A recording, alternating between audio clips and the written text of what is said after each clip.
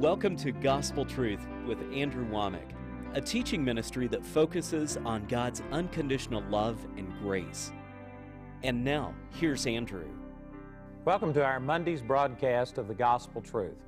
Today I am continuing a series talking about how to follow God's will.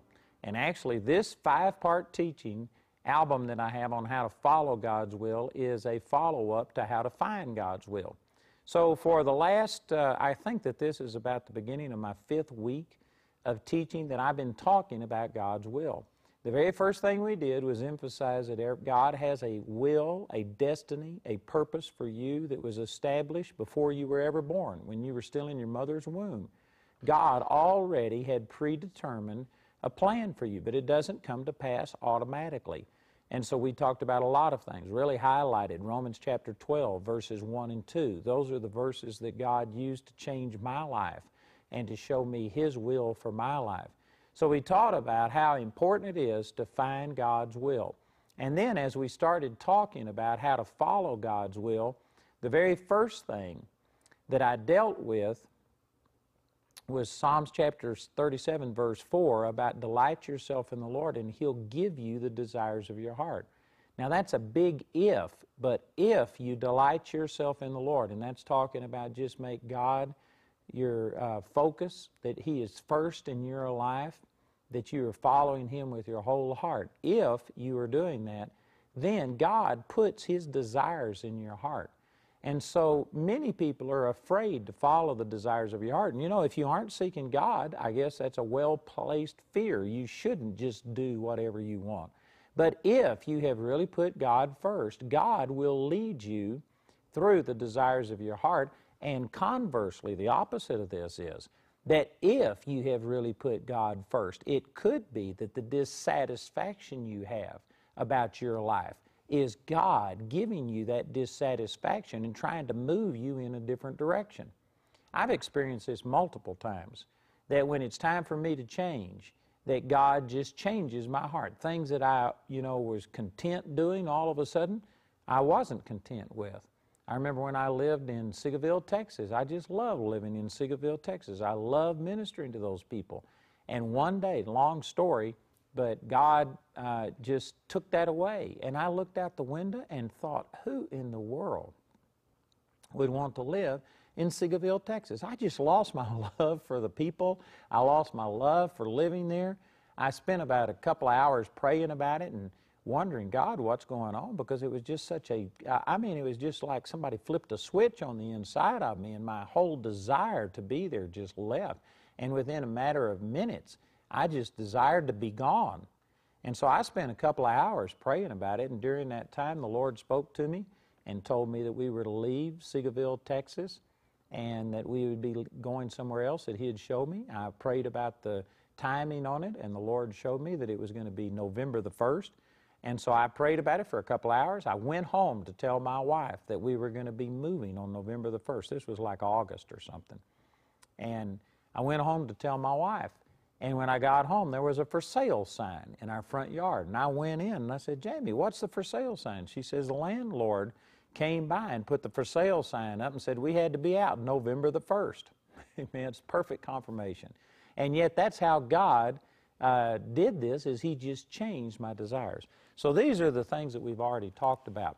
What I want to deal with today is to share with you one of my favorite things to teach on. I have gotten a tremendous amount of benefit from looking at the life of Moses and relating that in how to find and how to follow and how to fulfill God's will. And God has spoken just volumes of things to me through the life of Moses. You know, over in 1 Corinthians chapter 10, I believe it's verse 6 and 11, I'm not sure the exact references, but it's talking about all of the Old Testament saints, the things that are recorded in the Old Testament, and it says all of these things happened unto them for our examples upon whom the end of the world has come, so that we through them could learn not to lust and not to gripe and not to murmur and complain, etc. And the scripture makes it very clear that the things in the Old Testament were written for us to learn through. And it's amazing to me that most people don't learn through the scriptures and through the things that are recorded about people. Instead, they just go out and make all of the same mistakes all over again. It's like some people cannot learn except through hard knocks. And you know what? If you learn through hard knocks and if you live through it, it does make a great testimony. But you know what? Not everybody lives through it. And some people limp through life the rest of their life because of some of the mistakes that they've made.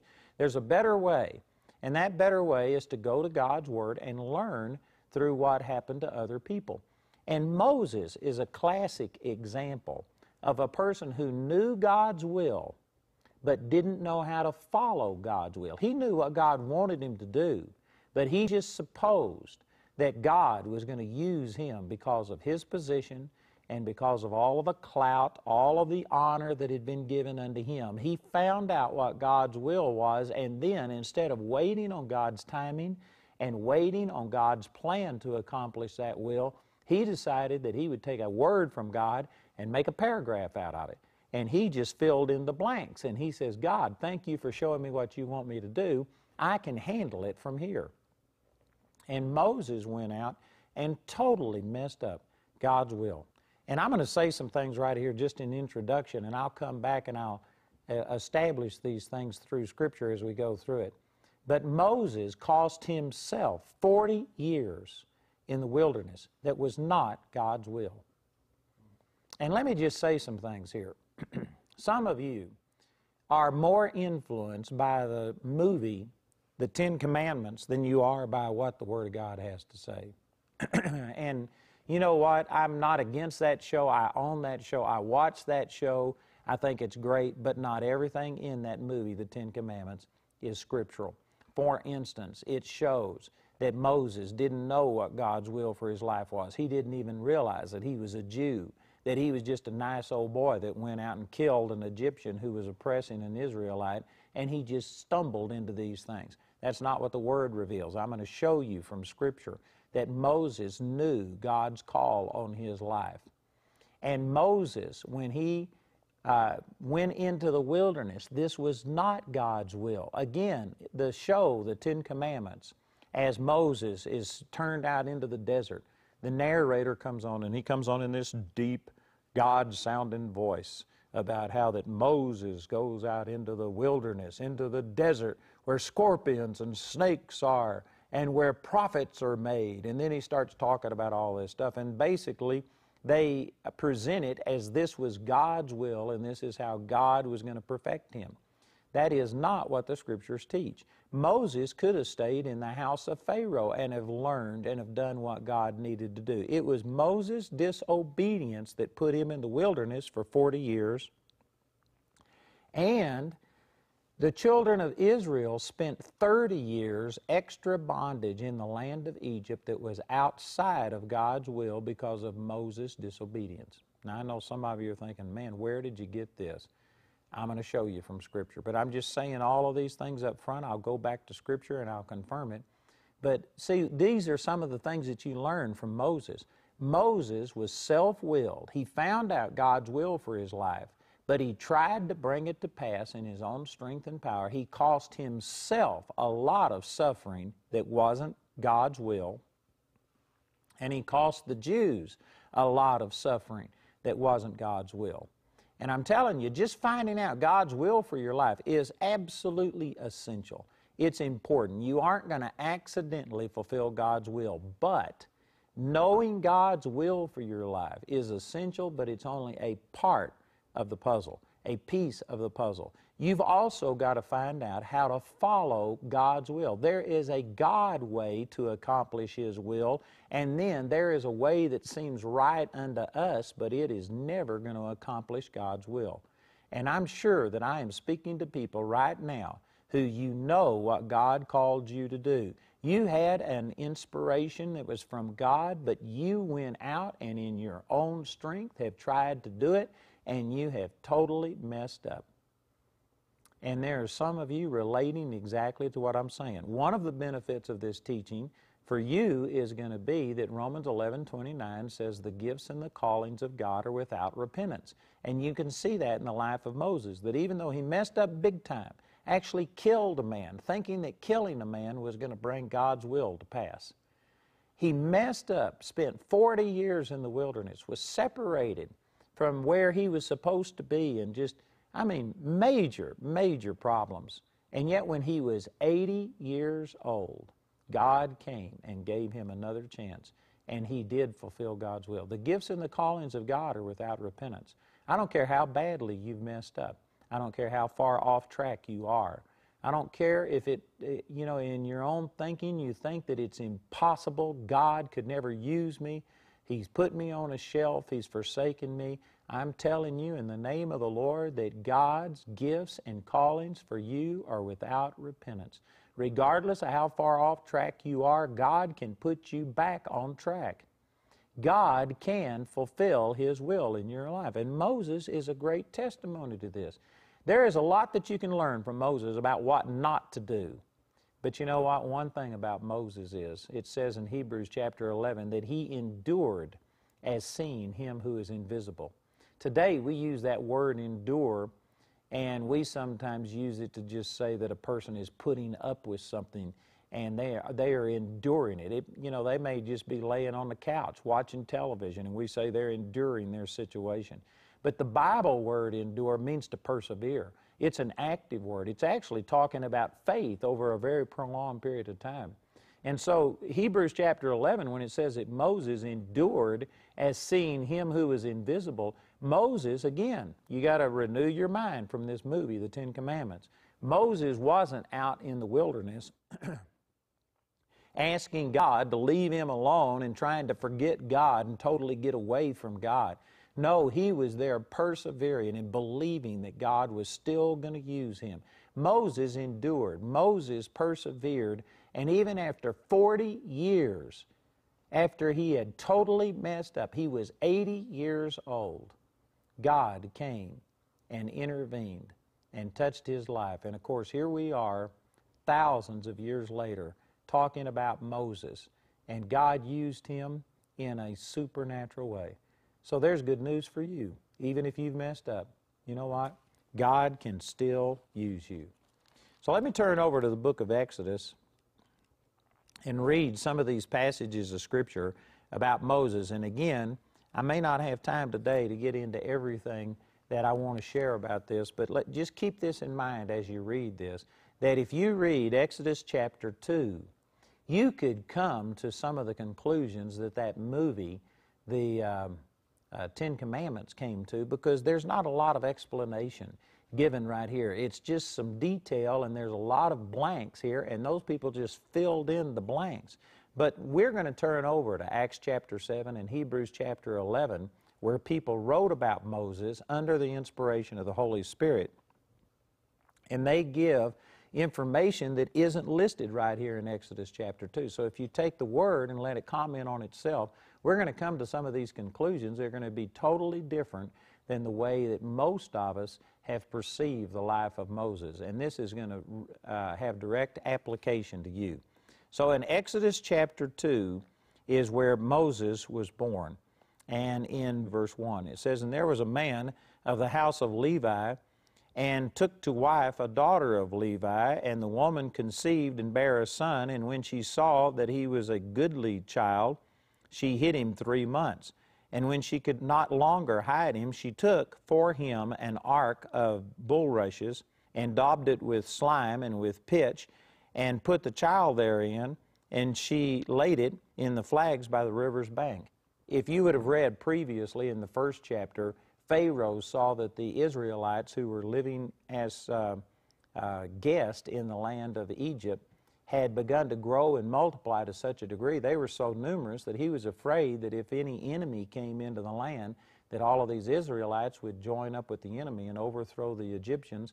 And he saw them as a threat. So he began to put them under slavery and he made them build all of these uh, treasure cities and he gave a command that all of the male, male children should be killed. And of course, what this was going to do was eventually decimate the population of Israel and bring them into subjection and, and uh, make his kingdom secure. So that's the background, and this is the reason that Moses' parents hid him for three months. But when they couldn't hide him any longer, they put him in this little ark that they made and put it into the river Nile and just let it float and see where it went. And so in verse 4 it says, And his sister stood afar off to wit or to see or to know what would be done to him. And the daughter of Pharaoh came down to wash herself at the river, and her maidens walked along by the river's side. And when she saw the ark among the flags, she sent her maid to fetch it. And when she had opened it, she saw the child, and behold, the babe wept. And she had compassion on him and said, This is one of the Hebrews' children. Then said his sister, this is talking about Moses' sister Miriam, she said to Pharaoh's daughter, Shall I go and call thee a nurse of the Hebrew women that she may nurse the child for thee? And Pharaoh's daughter said to her, Go. And the maid went and called the child's mother. And Pharaoh's daughter said unto her, Take the child away and nurse it for me, and I will give thee thy wages. And the woman took the child and nursed it. You know, before we get into the story, this is just amazing that here is a person who God was going to use to deliver the Jews. It is absolutely miraculous, and according to the things I've already taught, God's plans for us are established before we're ever born. Before we are even conceived in the womb, God has a plan. So God didn't just, you know, 40 years later see Moses and think, oh, well, he's a Jew and I could use him. No, this was planned from the beginning, and it is so neat to see how that Pharaoh had given the command that the Israelites would kill all of the male children. Not only did Moses' parents not kill him, but this ark just happened to float right unto Pharaoh's daughter. Pharaoh's daughter took Moses' mother and paid Pharaoh, uh, paid Moses' mother to nurse him. Amen. So instead of Moses being killed as Pharaoh wanted, the parents of uh, Moses actually got paid to raise Moses and then Moses came and lived with Pharaoh, and he was raised in the uh, uh, Egyptian courts. He had all of the wisdom and the knowledge of the Egyptians. So here's Pharaoh actually paying for the one who would in- eventually lead the Israelites out of bondage. I tell you, God is awesome. Not only did he preserve the person that he was going to use, but he made the man who was trying to kill God's messenger pay for the whole thing. I just think that's awesome. You know, here's another point that I want to make before we go on, and that is that not only right here with Moses, uh, uh, Pharaoh tried to kill all of the male children. There was an attack on children. When Jesus was born, of course, the greatest figure that ever came into the history of the human race, the pivotal figure, uh, Herod tried to kill all of the children from two years' age uh, and younger, and there was an attack on the children. And here we are again with abortion and the fact that over 59 million children have been killed since the Roe versus Wade decision, and that's not even including all of the children that are aborted in New York and California, which aren't required to list all abortions. Nearly 60 million children murdered and you know what? Again, I believe that we are in a critical time in history. I believe that we are in the last days. And uh, I think that there's a parallel. Every time that God does something significant, somehow or another, Satan sees this coming and he tries to attack by killing all of these children. And yet, God's plan got done. It got done in Moses' day, it got done in Jesus' day, and guess what? It's going to get done in our day. God is going to win.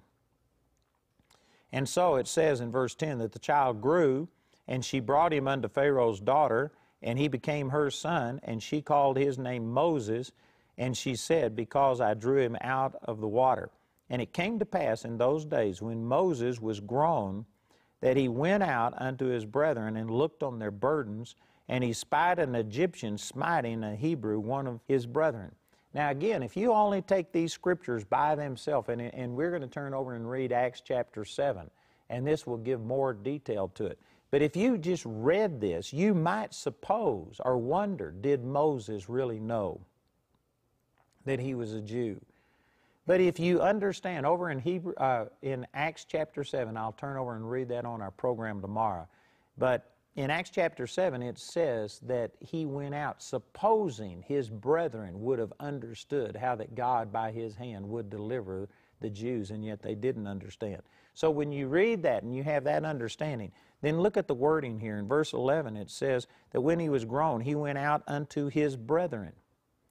Now, it's not said here, but in Acts chapter 7, it makes it very clear. He knew they were his brethren, and it says that he looked on them and saw this Egyptian smiting an Hebrew, one of his brethren, and he looked this way and that way, and when he saw that there was no man, he slew the Egyptian and hid him in the sand.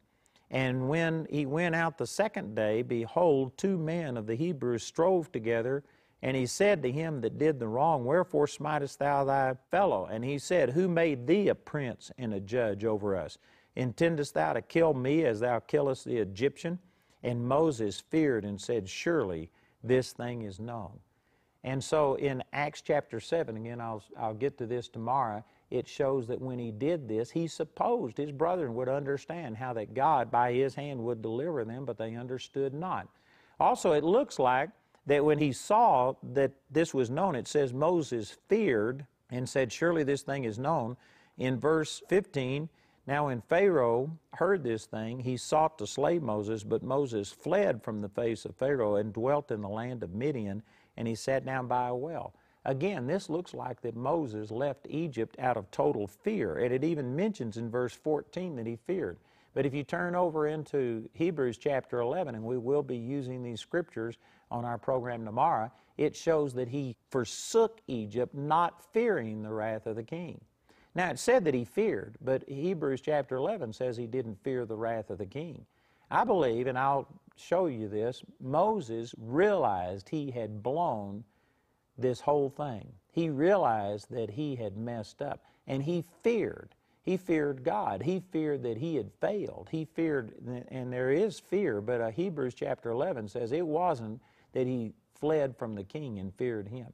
It's possible that he might have known that if he stayed around, that the king was going to kill him, but he didn't flee out of fear. It was a strategic retreat. In other words, he, it was prudent and it was wisdom, but it wasn't just fear. And then during the time that he was in the wilderness, he endured and believed God. So, anyway, we'll get into more of this tomorrow. But I want to show you that God, Moses knew God's will for his life. And yet, he went out and tried to accomplish it with his own strength, with his own power, and he messed up. Cost himself 40 years in the wilderness, cost the children of Israel 30 years extra bondage. And we're going to be discussing this in more detail. But I tell you, there is a direct application to this. If you know God's will for your life, that's wonderful. It's absolutely essential. But that's not all that there is to it. You also have to know God's timing and God's plan for bringing that will to pass. So you not only need to find God's will, but you need to learn how to follow God's will. And that's what this second teaching in this three album set that I'm teaching on is all about. It's how to follow God's will. We are now offering uh, the teaching, the second teaching in this five part set entitled Moses Missed God's Timing. And I tell you, this would really help you. So listen to our announcer and please call or write today, get these materials, and then join me again as we continue the gospel truth. Andrew's complete teaching titled How to Follow God's Will was recorded live at a recent Gospel Truth seminar. It's available on either CD or DVD for 16 pounds. This series is also available on DVD as seen on our daily TV program. You can receive it for 16 pounds when you write or call. Or you can get today's teaching as part of the God's Will package, which includes three albums How to Find God's Will, How to Follow God's Will, and How to Fulfill God's Will. As a bonus, the package includes the Destiny Stories DVD, highlighting four stories of people whose lives were transformed as they pursued God's will for their lives. The entire package has a catalog value of 48 pounds. But Andrew considers this teaching so important, he'd like to get it to as many people as possible. Therefore, he's offering it to you for a gift of just 40 pounds or more. Remember to specify the CD or DVD package when you order. The second audio teaching in today's series is available for 3 pounds when you write or call. But if you're simply unable to afford it, Andrew and his partners will provide this second CD titled Moses Missed God's Timing, free of charge. We'd like to remind you that we're offering Andrew's latest book titled God Wants You Well for £8.50. Contact us today to get your copy. You can use your credit card to order resources by telephone. Our helpline number is 01922 473 300. When calling from outside the UK, you must dial your international calling code, then 44 1922 473 300. Helpline hours are from 7 a.m. to 4 p.m. Greenwich Mean Time. Or you can visit our website where you can order ministry materials 24 hours a day, 7 days a week at awme.net. To write us, use the address on your screen. We hope to hear from you today.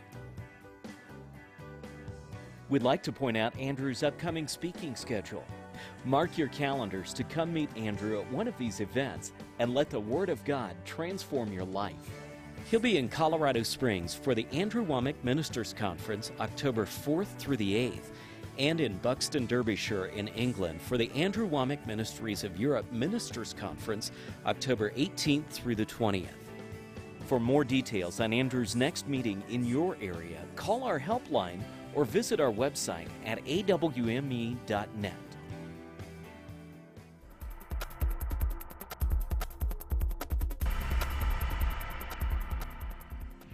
There was a time in my life, I must start with, I went to church and that. But after I had my second son, I was getting into teaching in Ireland of sanctification and things like that. And I had a very bad time of that. And I was afraid of God. I was afraid of God. I was afraid to touch the Bible or go to church. I used to always shrink when I went into church for a wedding or a christening. I was so afraid of God. I thought he was really out to get me. But my son had got me, he was in the army at the time, he brought me a beautiful Bible, but I never opened it. I, I never opened it, it was just an ornament, like, you know. I felt safe with it. Don't know why, but I felt safe with the Bible. And then whenever I heard Andrew talking, like, that sort of opened all the Word of God to me.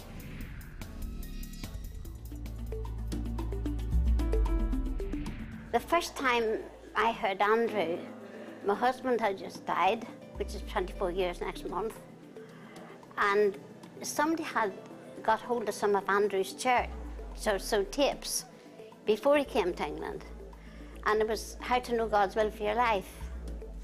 And if we were to tell people that the point of salvation isn't just getting your sins forgiven, but it's having intimacy, that God Almighty loves you he is so passionate about you that God Almighty wants to spend time with you. He wants to be your best friend. And I started listening, and you couldn't believe what you're hearing, could you? You know, it was amazing. Amazing to know you were healed, to know you had a God that loved you, not that, you know, um, not one that was judging you. Some people still think that, that they're under the wrath of God, and He put that all in Jesus, didn't He? He's love, isn't he? And he, and he just loves us so much.